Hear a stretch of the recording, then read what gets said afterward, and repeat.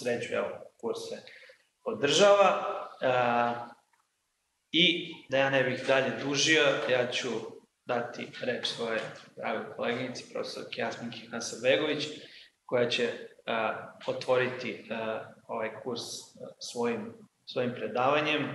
Posle toga ćemo imati jednu pauzu i u drugom delu, kao što sam već najavio, ćemo čuti advokata Ljubicu Tomić. Izvolite.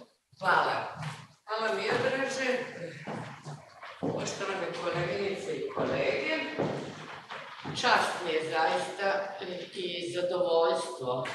Od početka učestvujem u ovim kursevima iz pravnog rasuđivanja. E, zadovoljstvo mi je dvostruko. Prvo, profesionalno, zato što sam se time posebno i najviše bavila u svom naučno-istraživačkom radu. Drugo, zato što moje kolege, e, pre svega kolega Jovanović, a onda i mlađi, nastoje da ovaj kurs ima određeni nivo i da na njega dođu najbolji među najboljima i to na masovnom fakultetu kakav je naš, a nekome ko sada već 38 godina predaje na prvoj godini i osjeća tu masovnost neprestano, jeste veliko zadovoljstvo kada dođu oni koji su najbolji, uprkos toga što su to prilične oscilacije, onako kakve su oscilacije na kraju krajeva i u našoj upisnoj politici e, svake godine, jer ona i ne zavisi od nekog našeg stava i kriterijuma, jer ga i nema. I e, posebno mi je zadovoljstvo što sam ja uvek u društvu sa Ljubicom Tomić e, i e, uvek mi je to i dodatni motiv i izuzetno veliko e, zadovoljstvo, zato što vama koji u ovim našim socijalnim, političkim i pravnim neprilikama treba dati nešto što će biti primer za ugled ne, nekoga ko će e, da vam bude uzor, nešto što treba slediti i ako ikako možete dostići, a naravno san svakog učitelja jeste da mu učenici budu bolji od njega, inače nije dobar učitelj. E vidite, e, ja sam imala sreće da u toku ovog mog profesionalnog e, života doživim da moji e, učenici budu bolji od mene. I jedan od takvih učenika, mnogo, mnogo bolji od mene, jeste Ljubica Tomić. Vrlo je teško u Srbiji baviti se pravom. Nema pretpostavki za pravnu državu, ostalo mi ovo što vam je profesor Jovanović rekao, vam jasno govori o tome koliko takvih pretpostavki nema ni na samom pravnom fakultetu. Ja nisam znala za ove okolnosti i mnogo mi je žao zbog njih, iako jesam znala da naš bivši dekan osporava uh, uh, CEPRIS iz, ja bih rekla čak kvazi političkih razloga. Ali da ostavimo to po strani, ne zato što to nije važno, ja ću se u toku svog izlaganja i osvrnuti, e, izlažući vam e, prividne i stvarne govornike i auditorijume o tome, jer ko se kome obraća u pravnoj argumentaciji, možemo se vratiti i na ovaj primer i progovoriti i o njemu, jer je dobra ilustracija e, za e, taj privid argumentacije i privid obraćanja e, nama, kad kažem nama ovde, koji, koji već sad mogu da kažem, više godina izvodimo ovaj kurs i učestvujemo u njemu. Vratit ću se na onaj lepši deo, ostavit ću tu tužnu priču sa strane, Jer, e, zašto e, Ljubica Tomić jeste primer za ugled? Biti e, dobar pravnik, pre svega biti odličan student, a onda se zaputiti u advokaturu. I u advokaturi, koja je za mene kraljica pravnih profesija, I verujem za svakoga ko se bavi teorijom i, i filozofijom prava, pravi i najvrhunski izazov jeste da budete u advokaturi uspešni, da budete stručnjak u teoriji, da tu teoriju umete da primenite u praksi, da umete da napravite i sposobni ste iskorak napred i još na sve to što nije malo u ovoj sredini da ste žene. E, tako nešto e, je pošlo za rukom moje dragoj koleginici e, Ljubici Tomić i vi ćete imati prilike da se osvedočite kako to briljantno izgleda i čemu vi to treba da stremite i težite u svom e, budućem daljem usavršavanju. A sad najpre da vam kažem nešto sasvim kratko o pravnom rasuđivanju, da vas provedem kroz e, ovaj papirić koji sam vam dala, da steknete bar neku predstavu o tom okeanu e, koji se zove pravno rasuđivanje. Rasuđivanje uopšte, pa i pravno rasuđivanje. Mnogi će pravno rasuđivanje svesti na argumentaciju. I to je jedno more bez obala, a, a, a zapravo pravno rasuđivanje jeste i nešto šire. Šta obuhvata e, pravno rasuđivanje? E, prvo, kada kažemo rasuđivanje, malo etimologije ne škodi, e, da bismo taj okean koliko toliko odredili, rasud, razlog, razbor u svim jezicima, jer engleski koji je vama najbliži, to znam u prirodi ovog kursa, reasoning i reason, e, jeste e, razlog ili argument. Rasuđivanje, dakle, jeste najčešće navođenje razloga, navođenje argumenta za svoje sobstvene stavove, jeste pozivanje ne na emociju, ne na kapric, ne na moć, može mi se, hoće mi se, nego pozivanje na razum, racio, ta e, ista latinska reč označava, ili ako hoćete grčku, logos,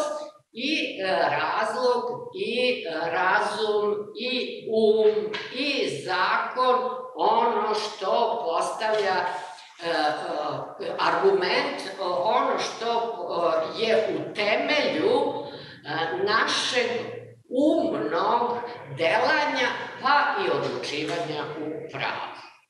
Dakle, pravno rasuđivati znači tragati prvo za razlozima, pravnim razlozima, a vi znate da e, e, proces E, iznalaženja razloga e, jeste jedan od najkreativnijih procesa, međutim on je upravo ograničen. U poeziji je najslobodniji, u filozofiji još slobodniji, a u pravu trpi različite e, restrikcije, no to ne znači da za prava ne treba glava, kako kažu ove naše kolege tamo malo dalje, e, iza univerzitetske biblioteke i tekako potrebna glava, a ako je e, imate, umete da je koristite, e, ima šanse da uz mnogo rada i vežbe i postavljate vrsni pravnici.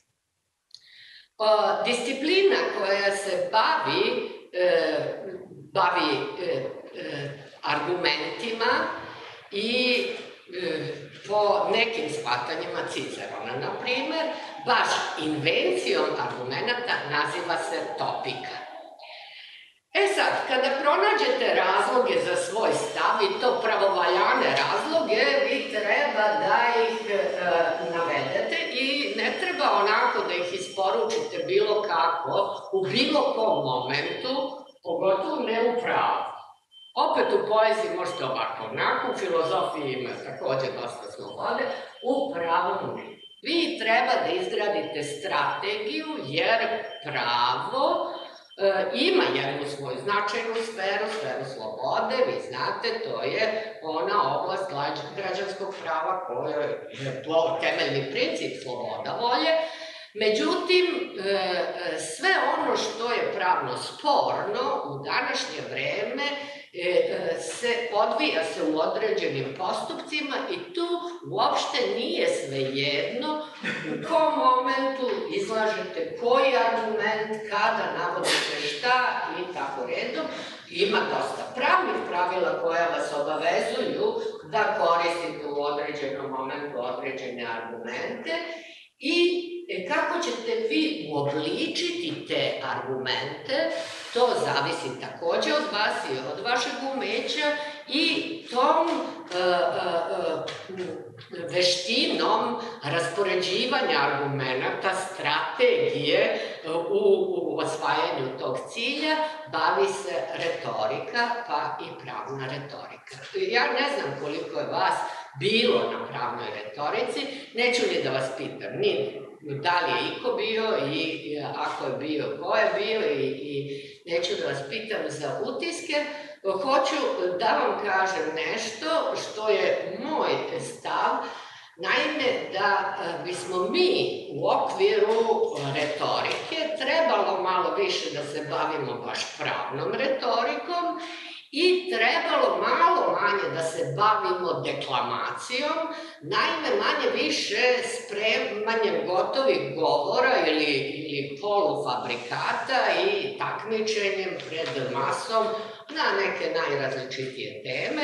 E sad, oni koji su se zaputili u uh, jedan segment retorike, a to je debata i koji su kod profesora Jovanovića na toj opciji oni su mogli da nauče nešto od tih pravila, debate uopšte, debatovanje uopšte, pa svejedno, da li je to političko-pravna debata u Skupštini, najčešće za početnike to najjasnije, najjasnije i najlakše, a onda i e, e, debata, ako hoćete, pred e, sudom, mada se ta reč debata ne, ne koristi, nego se koristi reč rasprava. Tu je takođe retorika vrlo značajna i e, od toga se nešto, hajde da kažem vrlo malo, da ne kažem ni malo, nauči na fakultetu, moglo bi više. E, u U pravu se mi bavimo uvek tekstovima. E, kad kažem tekstom, nemojte da mislite pisanim tekstom. E, bavimo se, pravo je uvek materializovano, izraženo na neki način. Ono može da bude izraženo ponašanjem ljudi, kada je reč o nepisanom pravu, običajno pravnim pravilima. Ono može da bude izraženo usmeno, može da bude izraženo pisanim jezikom i naravno savremeno pravo, savremene pravne civilizacije su pre svega civilizacije pisanog pravnog jezika. Ali ne samo u njemu, nego u svakom pravnom obliku hermeneutika jeste značajna disciplina. Jezik ne znači ništa ako vi ne razumete poruku koju uh, uh, vam taj govor, da, da ne kažem tekst, ali zašto da ne kažem tekst, jer ako je to pre svega i najčešće e, pisani e, pravni oblik, e, ono što se tekstom saopštava. Hermeneutika kao disciplina tumačenja jeste izuzetno značajna u pravnom rasuđivanju i jeste sastavni deo pravnog rasuđivanja. I e, pri tome treba zapaziti e, da e, svi ovi postupci podrazumevaju razmišljanje kako o, o stvarima, tako i o njihovim odnosima i pravilnostima koje postoje među njima i zapažanje nekih logičkih veza. E, dakle, oslanjamo se na racio, taj racio latinski, jel?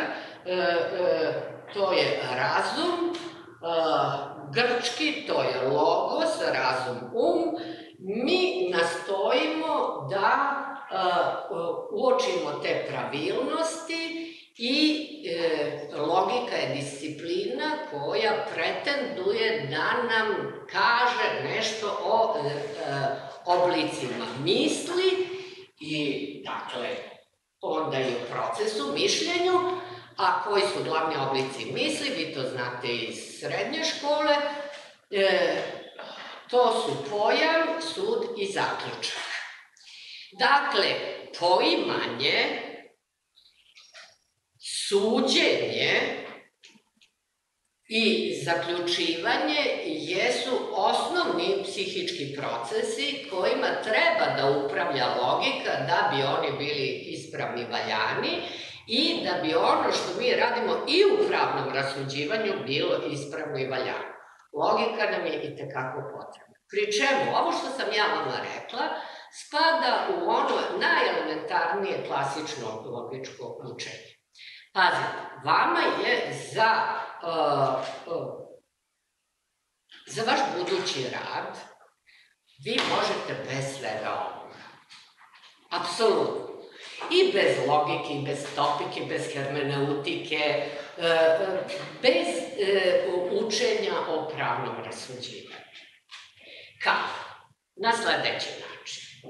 Ja ću vas podsjetiti na čuveni onaj stav Molijerov iz Građanina Plemića, gde e, e, se on obratio učitelju filozofu, da ga pouči, on bi da ne bude samo uh, jel, neki novo, uh, neki došljak, došljak građanin, nego zaista da postane nobleman plemić, i angažovao učitelja filozofa i sad ovaj njega treba da pouči i tu treba da dobije jel, e, e, e, tu plemičku auru svojim znanjem i razumevanjem stvari i kaže napisao bi ljubavno pismo, a pita ga učitelj filozof, da li u stihu ili u prozi.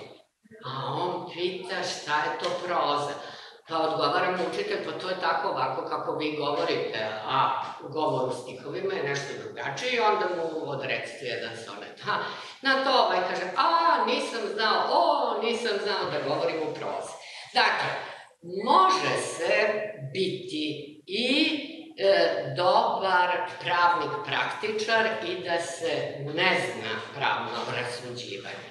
Može se biti dobar govornik da se ne zna retorika. Može se vrsno zaključivati i da se ne zna logika.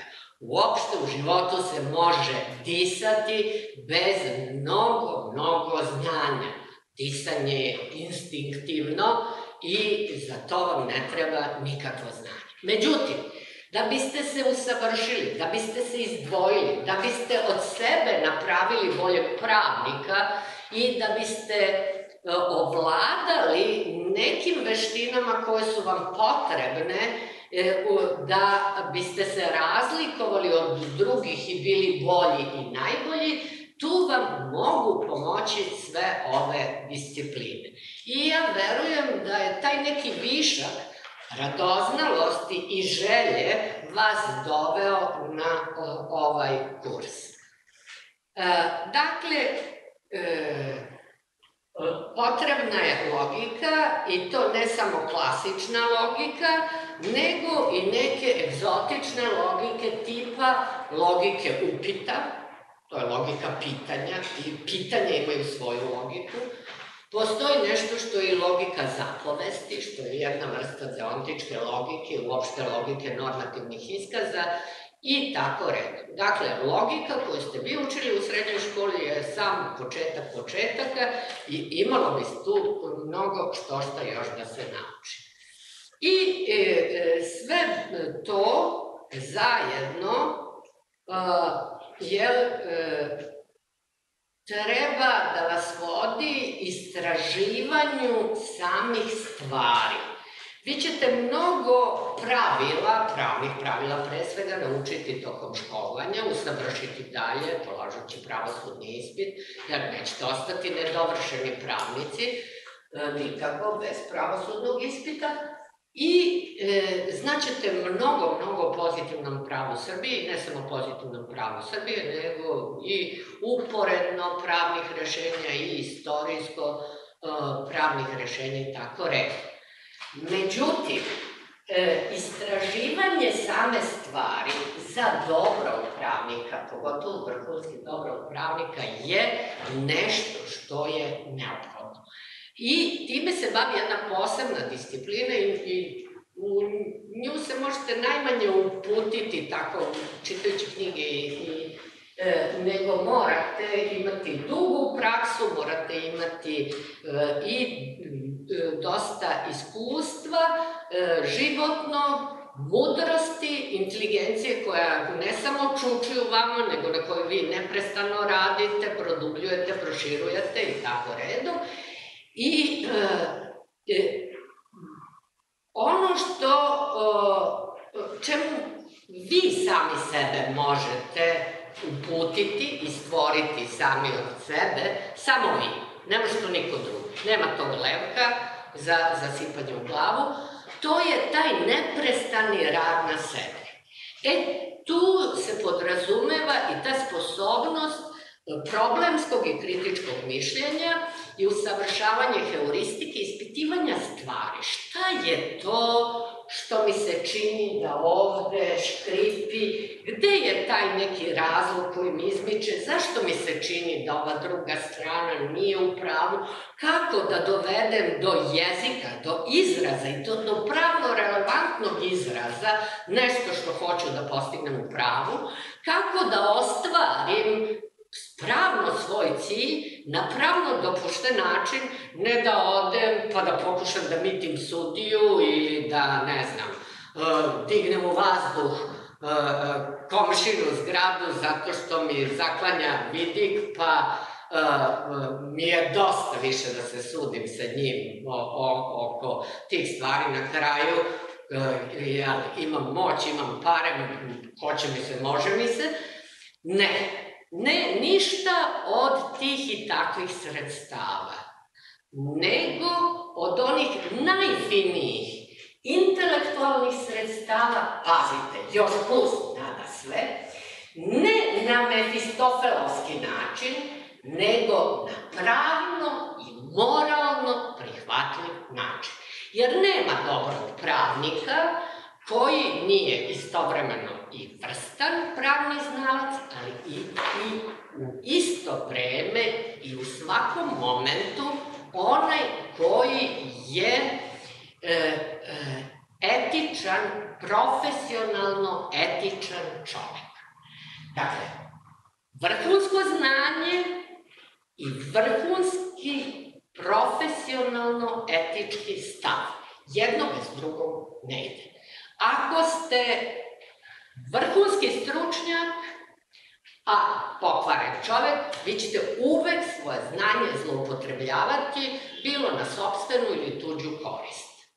Dakle, mora da bude jedno i drugo. Mora da bude jedno ozbiljno znanje, znanje o pravu i, i sposobnost rasuđivanja u njemu i jedan jasan, čvrst, dovršen moralni stav, integritet, profesionalno izgrađena ličnost. I onda svejedno da li ste sudija ili ste tužilac ili ste advokat ili niste ništa od svega toga, nego ste univerzitetski profesor, e, e, recimo samo to, e, svuda se tu vidi. Vidi se oni koji imaju znanja, e, i e, oni koji imaju profesionalnog morala i oni koji nemaju ili jedno ili drugo, e, te rupe se ne mogu krpiti nečim drugim. E, o, ovo je sami početak početka i ja ću sad unajkraće da vam kažem o vrstama pravnih rasuđivanja. postoje dve vrste e, e, rasuđivanja. Rasuđivanje uopšte. Vidite ovde, ona su po tipu analitičko i dijalektičko rasuđivanje. Ovo prvo je nužno istinosno, karakteristično za nauke. Ovo drugo je dijalektičko, verovatno vrednosno, karakteristično je e, i za e, etiku, i za estetiku, uopšte za filozofiju, e, naročito u nekim shvatanjima filozofije, a, a karakteristično je i za pravo, i za moral, e, e, i za neke druge oblasti u kojima nema tih mogućnosti crno-belog stava istina laži, nema ništa treće. Zašto? Zato što u pravu mi kažemo ovo je rešenje pravedno, a ovo je pravednije. U pozitivnom pravu nemate mogućnosti. U pozitivnom pravu je stav manje više crno-beli. Ili je nešto zakonito, ili nije zakonito, ili je ustavno, ili nije ustavno. Možda posle 10 godina Ustavni sud promeni svoj stav, ali u pozitivnom pravu je to tako, zato što je tu reč o pravnoj dogmatici, doći ćemo na to. E, sada govorimo uopšte o svim mogućim vrstama pravnog rasuđivanja i govorim vam o, o, o tim nekim elementarnim Po oblastima se deli na praktičku i na teorijsku. Ja, teorijsko je ono što vam ja izlažem sada, praktičko će Ljubica odmah, posle mene vidjet ćete koliko je zanimljivo. I e, e, to je tako ne samo kada je u pitanju e, pravo, nego i kada je u pitanju anatomija ili molekularna biologija ili e, regulacija saobraćaja takođe. E sad idemo na pravno rasuđivanje. Tu su e, e, dve osnovne vrste. Jedno je praktičko pravno rasuđivanje, drugo je teorijsko. Ja kažem studentima, praktičko je rasuđivanje u pravu, u pravnom poredku, da bude jednostavnije, onako se konvijetije i ovim predlozima. Teorijsko je rasuđivanje o pravu, o pravnom poredku. I ovo praktičko se dalje deli na dve velike grupe, na praktičko koje je orijentisano na primenu prava i praktičko rasuđivanje u stvaranju prava. Praktičko rasuđivanje u primeni prava može biti sudijsko, može biti advokatsko, može biti tužilačko, može biti javnopravobraniteljsko, može biti laičko rasuđivanje u, u primeni prava, jer svi mi, pogotovo Srbi, imamo stav o svakom pravnom slučaju jel tu možemo da budemo nepismeni, ali znamo šta i kako treba. Dakle, to su sve e, praktička rasuđivanja u primeni prava i e, u, u svima njima, od svih njih, izdvaja se sudijsko kao najznačajnije i ono predstavlja paradigmu pravnog rasuđivanja. Vratit ćemo se na to zašto to tako. E, U sudijskom rasuđivanju važi ovaj princip koji ne važi, na primjer, u filozofskom rasuđivanju ili u moralnom rasuđivanju. Nema e, e, principa res judicata. To, taj princip postoji samo u pravnom rasuđivanju. Filozofske debate mogu da se vode vekovima i vode se vekovima i neprestano se otvaraju i nikad se ne zatvaraju, to je potpuno suprotno filozofskom stavu. U pravu, u filozofiji prava može da bude tako, ali u praktičnom pravnom rasuđivanju ne. Jednom mora da se okonča. Jednom spor mora da se okonča, jednom stvar mora da se reši i pretenzija je da je ta stvar koja je rešena, rešena ispravno i da predstavlja pravnu istinu. I zato se kaže res judicata pro veritate.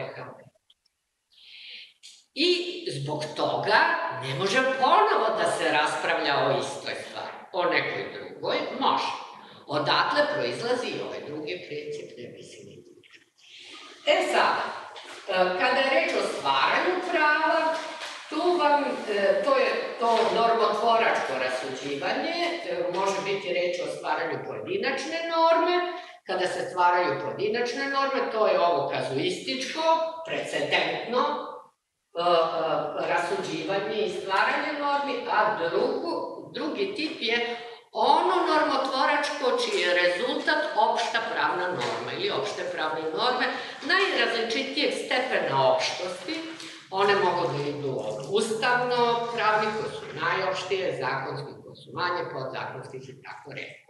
E, e, teorijsko e, rasuđivanje o Dakle, rasuđivanje, teoretsko pravno rasuđivanje, rasuđivanje o pravu, takođe nije jedinstveno, različito je i ono je trovrsno.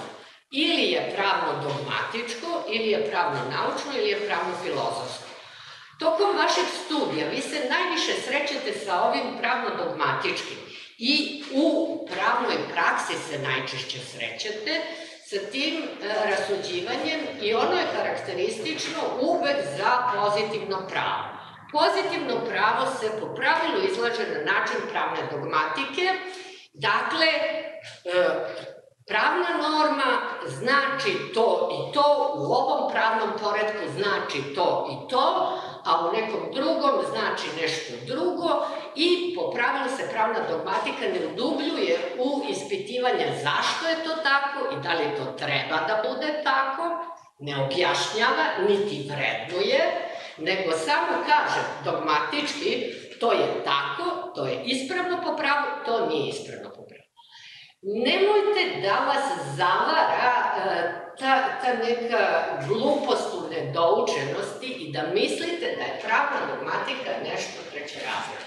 Nema vrsnog pravnika koji ne poznaje vrhunski pravnu dogmatiku.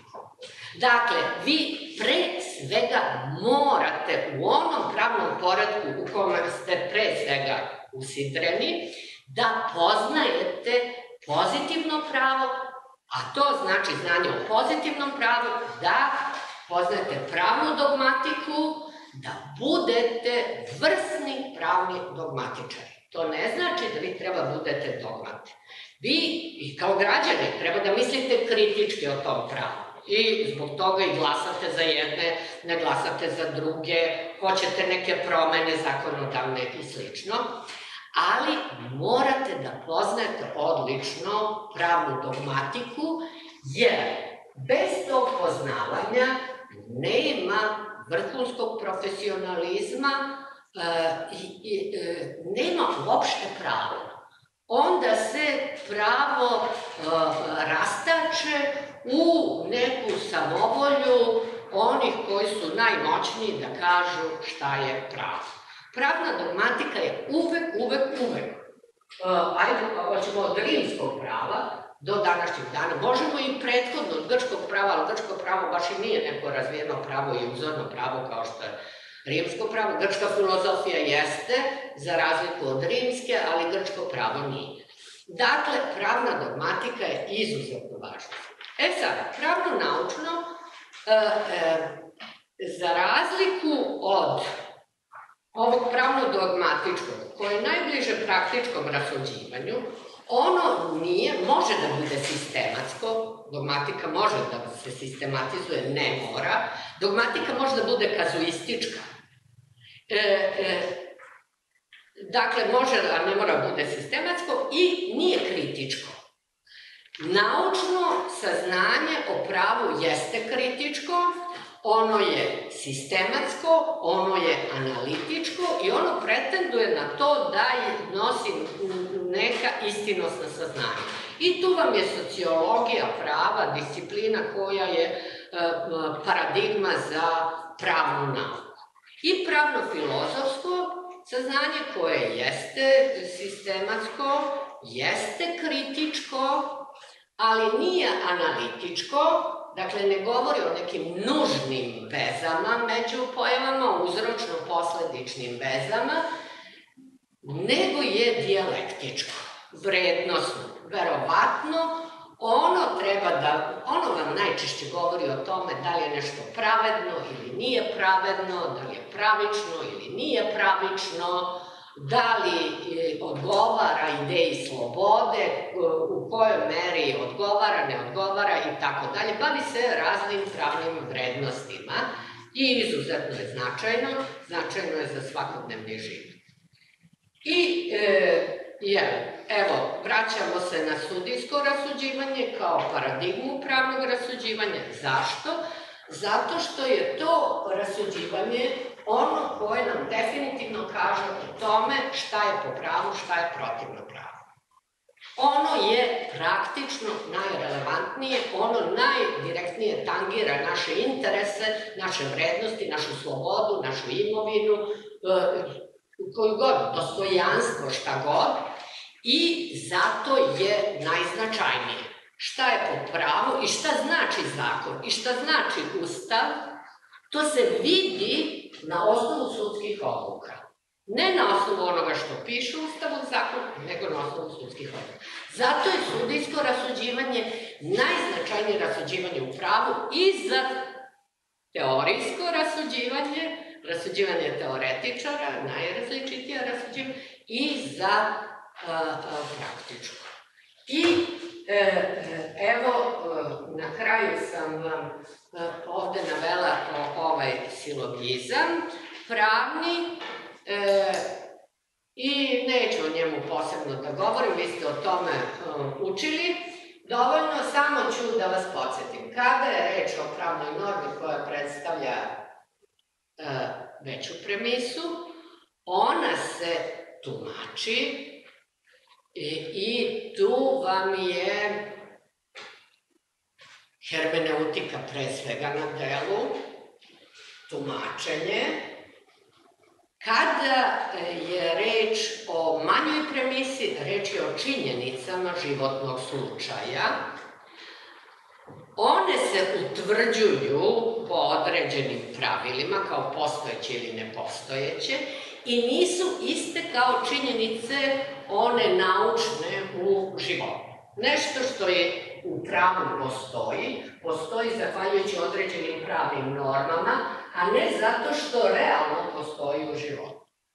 Ima još jedna stvar koja je karakteristična za pravne činjenice. Pazite, one samim tim što su pravne, ili čak, iako nisu u najužem smislu pravne, nego su samo pravno relevantne, recimo služe za dokazivanje postojanja ili nepostojanja nekih pravnih činjenica, one su uvek sve, sve, sve, sve, sve, sve, sve podložne kvalifikacije. Znate, e, mrtav čovek može da bude mrtav zato što je umro, može da bude mrtav zato što je ubijen, može da bude mrtav e, zato što je e, sam e, prekoračio nužnu odbranu, pa e, je neko drugi braneći se e, ga lišio života. Dakle, pravno mrtav čovek može da znači mnogo, mnogo različitih stvari. Činjenica da neko više nije živ u pravu može da znači uh, ja, I od toga da je ubijen do toga da je to uh, kvalifikovana posledica neke teške telesne povrede ili šta ja znam već čega, vi ste tu mnogo bolji, vama je to svežije, ja imala toliko prilike da zaboravim. E, dakle, vodite računa, ovaj silogizam je jedna izuzetno komplikovana tvorevina i sad ćete to videti na ovom primeru i vidjet ćete da se on vrlo postepeno izgrađuje e, e, verižnim zaključcima. Verižnim zaključcima, dakle, mnogo rasuđivanja koje nas dovede do formulacije, više premise, mnogo, mnogo najrazličitijeg rasuđivanja koje nas dovede do manje premise i onda potom konkluzije koja je odluka. Pri čemu najrazličitiji mogu biti e, subjekti u pravu i ta rasuđivanja mogu biti valjana logički, pazite, zato što je to dijalektičko rasuđivanje. I u tome i jeste čar pravnog poziva. Vi, kada imate znanje i kada imate uverenje, vama, primjera radi, ako ste advokat, vaš klijent overava nešto što njemu važno. I vi brinete tuđu brigu. I treba da se usredsredite i da nađete pravni modus da uverite sudiju, da uverite čak i drugu stranu da nije u pravu, a naročito sudiju da ste vi u pravu. I ja ću ovde da stanem. Je, koliko je? Jel imamo još malo? Imamo vremena, da. Jel imamo vremena? Da, da. E, Da onda kažem još nešto ovim prividnim govornicima. Vidite, ovo je o, o, onako nešto najelementarnije od najelementarnije, pa još i protočavaju onako kroz sve, videli ste. E sad nešto da vam kažem o ovim... Hm, patologijama u pravnom rasuđivanju. Namerno sam upotrebila tako tešku reč, jednu tešku reč, e, razlikovati šta je ispravno od toga šta je pogrešno u pravnom rasuđivanju uopšte nije jednostavno. A još je to komplikovanije kada e, živite u jednom autoritarnom, nedemokratskom pravnom poredku. Zašto? Zato što demokratski pravni poredak u moderno doba ne može da bude moderna demokratija, a da ne počiva na principima vladavine prava. I kada je reč o vladavini prava, to je pravnoj državi, e, moraju da se poštuju određena pravila i e, znaju se jasno koje se vrednosti moraju poštovati, ne smiju dovoditi u pitanje i zna se da u postupku pravnog odlučivanja strane koje su u sporu moraju doći obe do reči. Dakle, sudija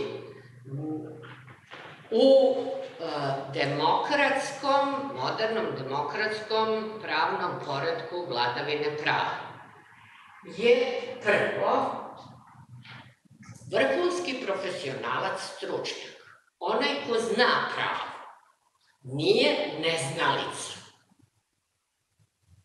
U autoritarnom poredku to može da bude. Prosto oni koji odlučuju o tome ko će biti sudija, kao što je to bilo i u apsolutnoj monarhiji, prvom obliku ili preteči moderne države, jer kralj je e, i vrhovni zakonodavac, i vrhovni vojskovođa, i vrhovni sud, sudija. I onda on delegira nekome da umesto njega sudi neke slučajeve. I tako, u moderno vreme, uočavajući tu patologiju koncentracije vlasti, zakonodavne, izvršne, sudske u jednim rukama, se dolazi do principa podela vlasti koji je princip pravne države, odnosno vladavine prava. Podela vlasti bar na zakonodavnu, izvršnu i sudsku. Može da bude i, i ona složenija, ali sad da eh, ne govorimo o, o o tome, recimo, možemo ustavno sudsku vlast shvatiti kao posebnu vlast, recimo četvrtu. Ima i petornih i šestornih podela, ali bar ove tri. I sad pazite dalje. Prva stvar jeste da vlast bude dekoncentrisana, podeljena, tehnički podeljena na različite državne organe, nekoncentrisana u jednim rukama. I to je izuzetno važno, zašto?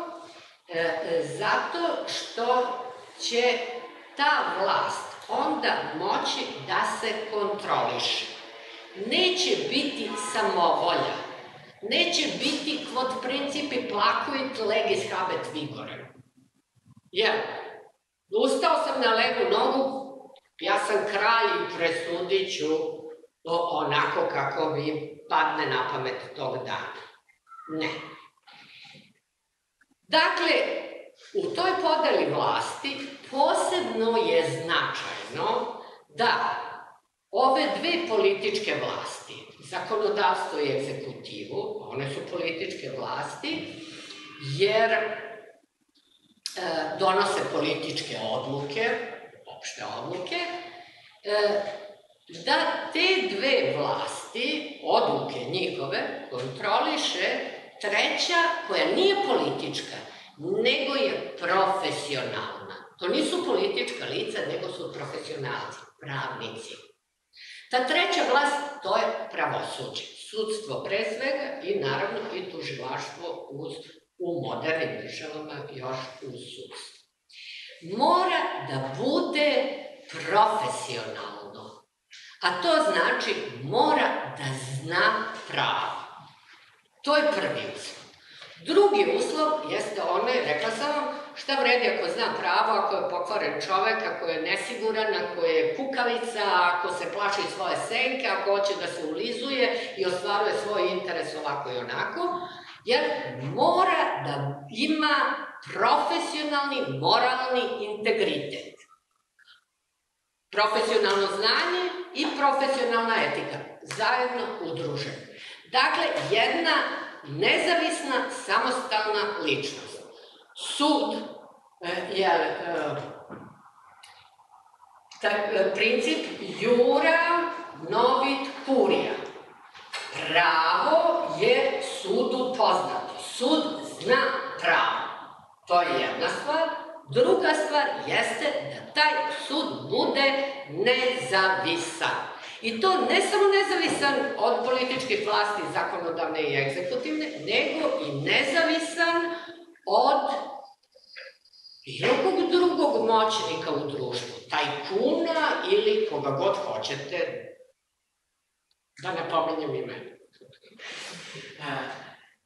Dakle, e,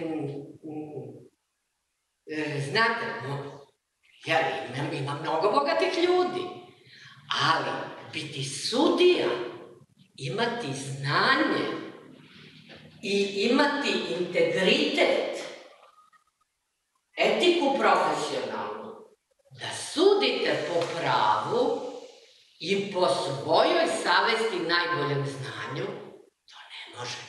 Nema tih para u modernoj demokratiji koje mogu da vas dovedu na mesto sudije. U autoritarnim porecima može. Možete malo da ovome, možete kupite diplomu, možete da kupite mesto, možete da kupite ugled, možete da kupite šta god A, u demokratskom, modernom poredku vladavine prava to nije moguće. I zato je, e, e, zato su pravničke profesije, koja god, sudijska, advokatska, tužilačka, izuzetno ugledne. To su ljudi koji imaju znanje, imaju stav, odvažni su, hrabri su, ne ni nešto pretarano hrabri, ako ih pitate, oni, će, oni neće za sebe reći da su hrabri, nego samo da su profesionalci. I nema tu šta da, da utiče ovaj i onaj na njih, oni znaju E, e, znaju svoju struku i nezavisni su i samostalni su u odnosu na sve koji bi da vrše uticaj i da znaju više od njih i bolje od njih pravo koji, o kojem, o, kojim se oni bave i o kojem odlučuju. Odlučujete naravno i kad ste advokat i kad ste tužilac. Odlučujete neprestano. Odlučujete da ćete da dođete na ovaj čas ili nećete da dođete. Neprestano odlučujete. I to je isto jedan oblik praktičkog rasuđivanja. A u pravu takođe neprestano se odlučuje. Naravno, nisu sve odluke jednako pravno relevantne, značajne. Pravna snaga pravnih akata, hijerarhija i ostale stvari, sve to vama poznaje. E sad, pazite dalje. U autoritarnom poredku e, će vrlo često doći do situacije e, gde se zloupotrebljava sobstvena pozicija. Primera radi, e, jel, ja kao šef države krenem sada da vam objašnjavam kako je veoma dobro to što je,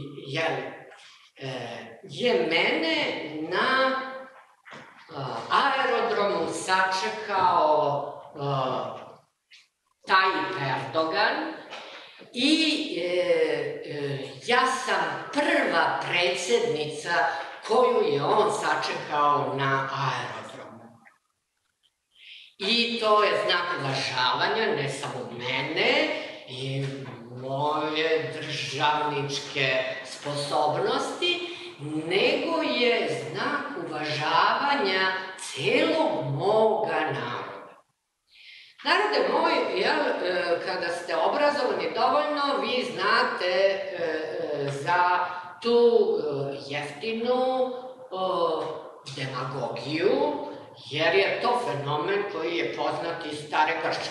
Šta je demagogija, a šta je demokratija? I onda, kada vam se neko obraća i kaže, o, to je vrlo značajno, e, jer su u našu zemlju došli e, mnogi E, kapitalisti turski i otvorili mnoge fabrike i zaposlili mnogo ljudi i nezaposlenost je pada. Naravno da je važno da nezaposlenost pada. Ali, uopšte nije nevažno sa kim mi negujemo međunarodne odnose. Ko su to naši partneri u ovom savremenom svetu?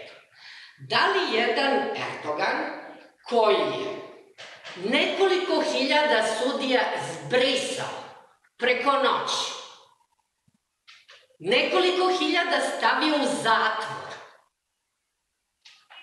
nikakvog suda, puta, ničega, oduzeo imovinu, zaplenio njihove kuće, stanove, porodice, uništio budućnost. Pa onda još tako nekoliko desetina hiljada policajaca, pa tako nekoliko hiljada u vojsci, pa tako. I sad, e, ta priča da jedna velika država, mnogomilionska u odnosu na našu, jel tako ima uvažavanja za nas, dobija e, e,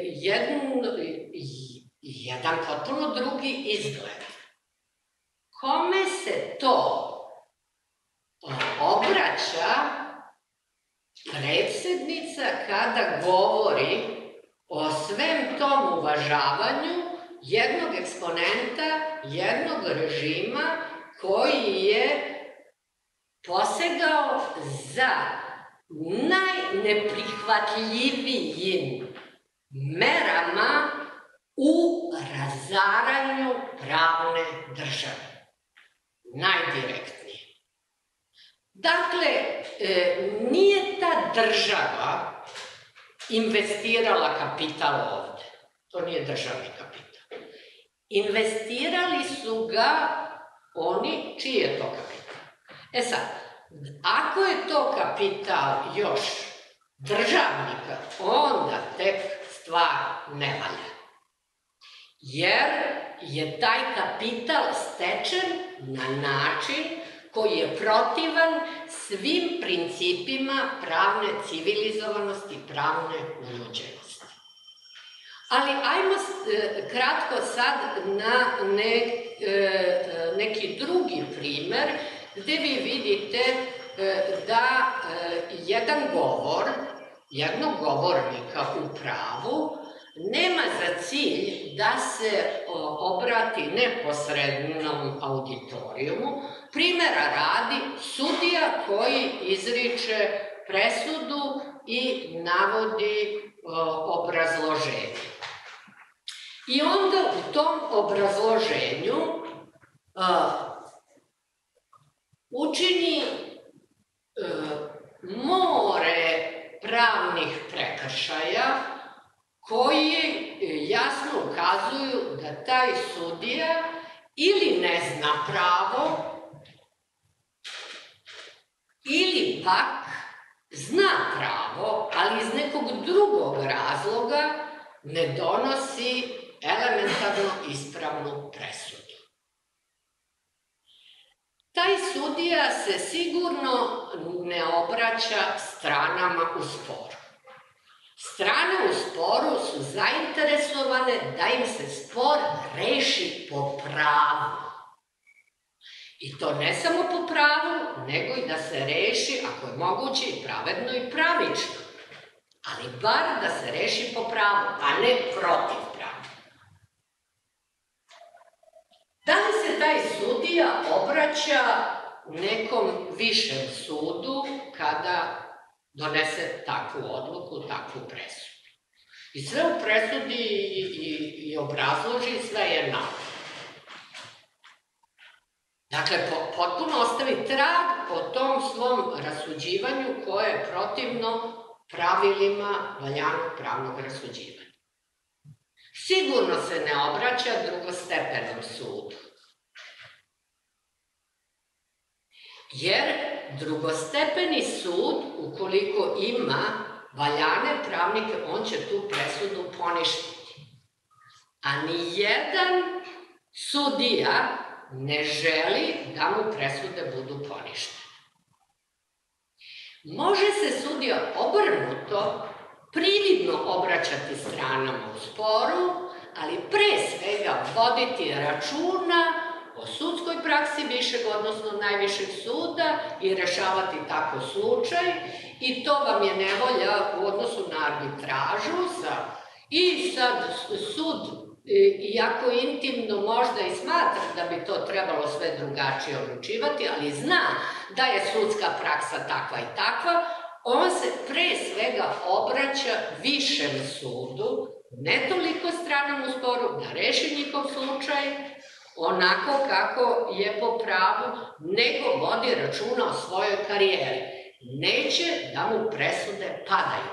Hoće da ima u tom smislu dobar sudijski skor. Ali to nije ovaj slučaj prvi koji sam vam pomenula ovog sudija koji donosi ovakvu presudu. Šta vi mislite? Kome se obraća uh, taj takav sudija koji donosi takvu odluku?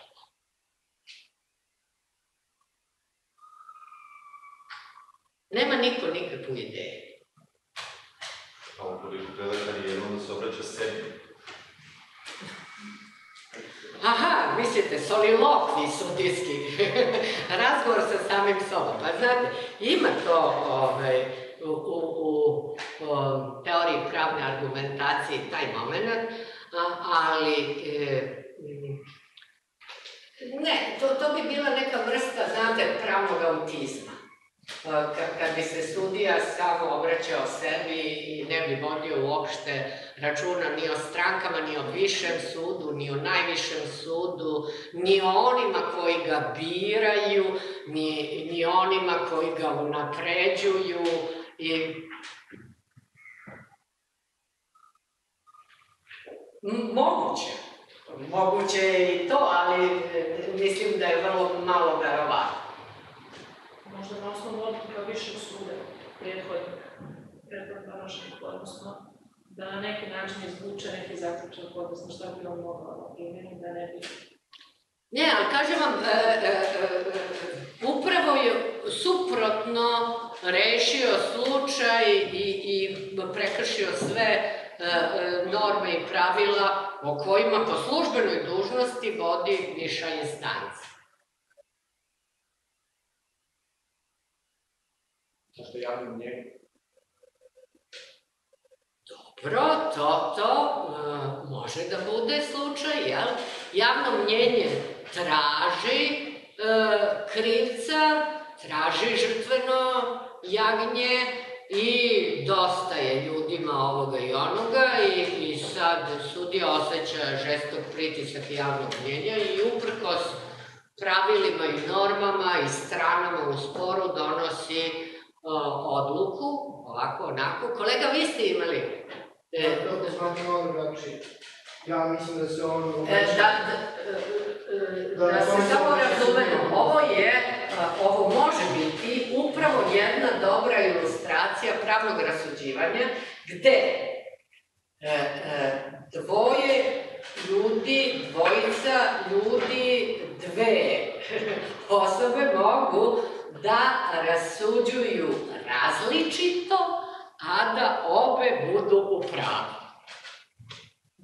Dakle, možemo to posmatrati iz jednog drugog Recimo, možemo se obriša drugih sudija, možemo posmatrati do taj drugi stepen sudijski suda zapravo kao jedan, pre svega politički, ne pravni organ. U današnjoj situaciji u Srbiji možemo posjetiti kontra pitanje Ili ne se... mora da bude u celini, po, pošto je, ja, to su različita veća. Pa može proceniti da veće kome se obraća nije veće koje je veće profesionalaca, Absolutno. Primera radi kome nego veće korumpirani.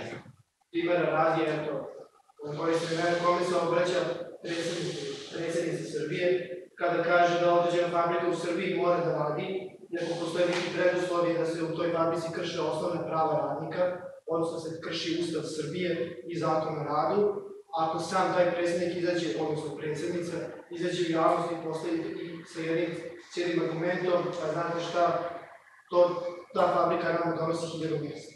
Znači, ako mi se najviše nivoa kršimo Ustav kršimo zakon, onda čemu postojati sve?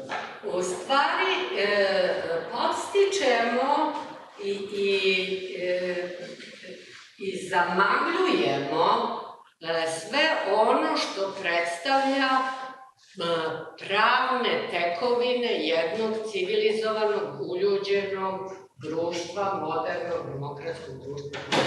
I upravo kao neki kraj cijela ova priča može se postaviti pitanje zapravo autokompromitacije intelektualaca u Republici Srbiji i o tome se može dosta govoriti baš na ovom Znate, sad tu moram da vas prekinem, jer e, ne zato što, što je neka stvar opasna, nego zato što osjećam e, deo odgovornosti, osjećam se sa odgovornom za tu situaciju. Mi smo ti e, koji e, stvaramo jedan deo intelektualne elite u ovoj zemlji. I ako mi nemamo kriterijum za to šta je e, potrebno da neko bude zaista elita, odličan student i uopšte student i naročito odličan student i diplomirani pravnik, a pogotovo odličan diplomirani pravnik i tako dalje i tako dalje, onda e, e, ne mogu da sta, mogu, ali e, sa mnogo manje legitimiteta mogu da prigovorim drugima.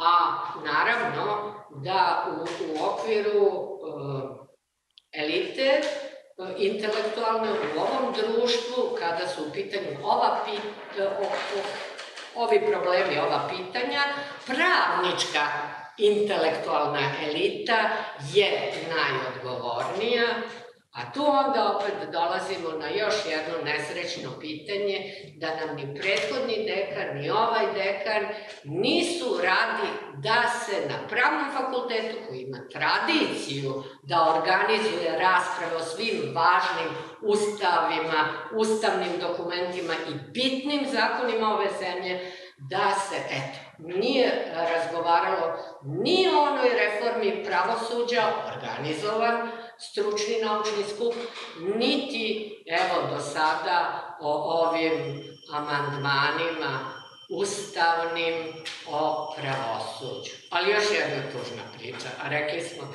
E, Trudit ćemo se da danas bude što manje. Dakle, jasno vam je, ne mora biti onaj kome se u pravu govornik obraća, kogod taj govornik bio, ne mora biti neposredno onaj kome se obraća. Taj može biti prividni sagovornik, a pravo obraćanje može biti nekome drugom. U ostalom, e, to vam je i u ovim govorima u Skupštini povodom usvajanja zakona. Po najmanje je tu govora i dijaloga međusobno različitih stranačkih pripadnika koji imaju različite političke ideologije i hoće da ostvare zakon određene sadržine. Mnogo je više to još uvek mesto sa koga se oni koji e, dolaze za govornicu obraćaju svojim budućim potenci- potencijalnim biračima, a ne zapravo svojim e, e, sagovornicima u parlamentarnoj debati. Kao što se i e, jel, advokat može obraćati sudu koji je tu jel, neko nužno zlo, a imati strategiju da zapravo, kad mu je jasno da će stvar biti takva, pokuša da ostvari nešto na nekom drugom nivou, višem, sledećem ili tako dalje. Dakle, prividnih i stvarnih govornika je uh, u pravu uh, uh, uvek mnogo i treba nastojati da ih razlikujemo, jer i to određuje nekakvu dobru strategiju naše argumentacije. Ali ono što jeste činjenica u pravu, to je da argumentaciju kao dobru ili rđavu možemo ocenjivati samo post festum. Tek kada se stvar završi i to po pravilu, jel, ona strana koja je spor dobila ocenjuje argumentaciju kao dobru i odluku kao dobru, a ona koja je izgubila naročito među lajcima. I tu se pravi jasna razlika između lajka i profesionalaca. Vi ćete biti profesionalci, na tom ste putu, vi morate e, e, imati jasnija uporišta od toga samo to mi se ne sviđa ili to mi se sviđa jer na kraju krajeva se to među lajcima ova obuka mi se sviđa, dopada mi, odgovara mi se, a, a, a ova druga ne, ne, nego argumente koji su baš, baš pravni argumenti i koji jasno a, pokazuju strategiju da se dobije jedna pravovaljana, a onda što je moguće pravednije i pravičnija pravna odluka. Eto, otprilike, to je to. Jesam prekoračila vreme? Niste. E, imamo još nešto vremena za pitanje, ako studenti imaju još neko dodatno pitanje, pa da napravimo pauzu od 15 minuta. Nema pitanja. Pa vi ste profesor koji ćete imati prilike i ovo narednom dijelu nešto će, ovaj, uh, tako da onda predlažem da napravimo pauzu naše od 15 minuta i za 15 minuta se vidimo ovo sa, tačnije 20 stvari imamo na raspolaganju, šest